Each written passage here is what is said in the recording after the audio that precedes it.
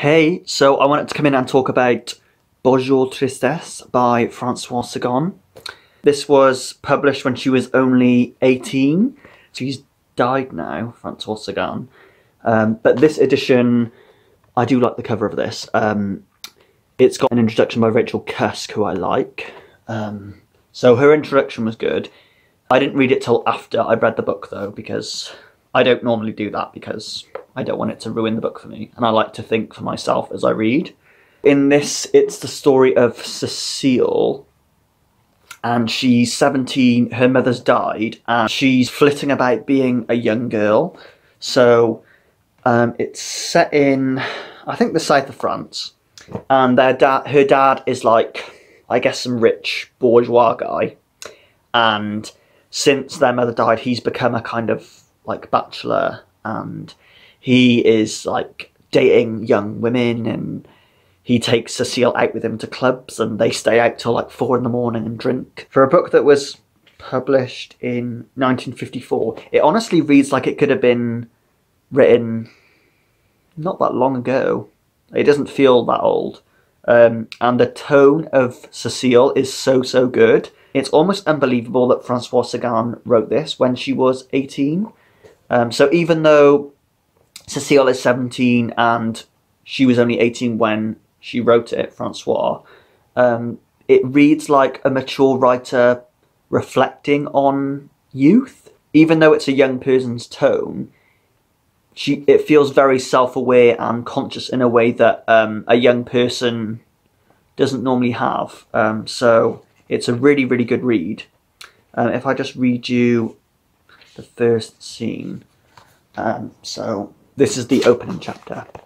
This strange new feeling of mine, obsessing me by its sweet languor, is such that I am reluctant to dignify it with the fine, solemn name of sadness. It is a feeling so self-indulgent and complete in itself that I am almost ashamed of it, whereas I had always looked upon sadness as being a worthy emotion. Before I did not know what sadness was, though I knew what it was to be languorous, to have regrets, and more really, to feel remorse. Today it is as if I am enfolded in some silken thing, soft and enervating, that sets me apart from others. So, just from that setup, and especially after reading the novel, um, every single sentence has more of a weight to it. Just the opening that it's this strange new sensation that's triggering the kind of narrative. Um, I love that kind of psychological hinging of the novel. So I think that's really, really well done. Cecile is basically, I think she's meant to be like an, a version of Francoise Sagan, but there is a plot to the book. So the the actual story is only like a hundred, a hundred. It's a hundred pages, and so it's quite quick. Um, it's like short and snappy, and it's just a perfect length for the kind of story that it is. It's a story where her father basically starts dating her who was her mum's best friend. So her mum's friend Anne is this like glamorous, sophisticated. Is she a spinster? I mean, she. I guess she is. She would be viewed as a kind of spinster, but she. I don't know. She kind of feels more like a glamorous divorcee than a spinster. And Anne steps in and it's kind of like Cecile. Um, like you're doing really shit at school. You're doing like the most. You're dating this like fit French boy who you shouldn't be dating because you're only 17. You're coming out to clubs with your father when you shouldn't be doing that. You're a young girl. You should be focusing on school and being a lady. Um, and it's kind of odd because Cecile's not sure how to treat Anne. She's not sure whether this is what her mother would be saying to her if her mother was still alive or if she should kind of resent this present. So she kind of does resent her in a way that you probably resent a parent saying that to you anyway.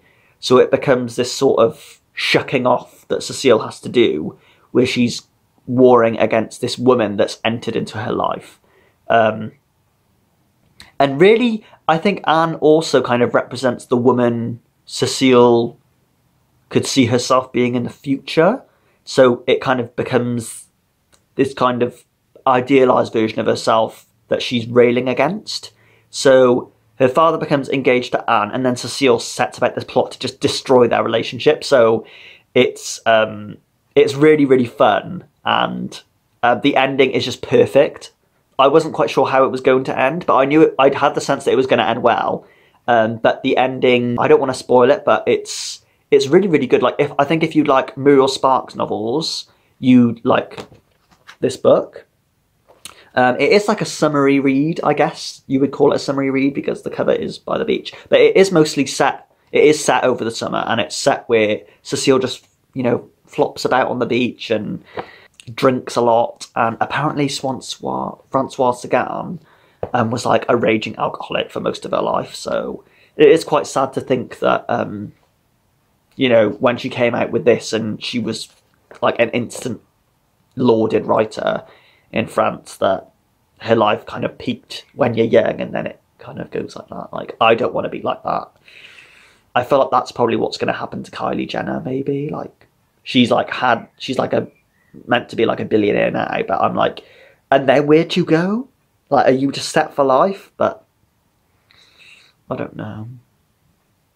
Like, what do you think would happen with Kylie Jenner in the future?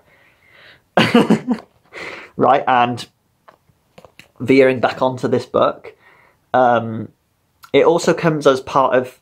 Um, there's two stories in it, so a certain smile is kind of like a sequel to Bonjour Tristesse, where um, the girl in it is I think she's gone to uni in Paris, so she's kind of flitting about being a student and dating older men. So I like the story as well. The second one was good story, but um, the first one is the one I want to focus on.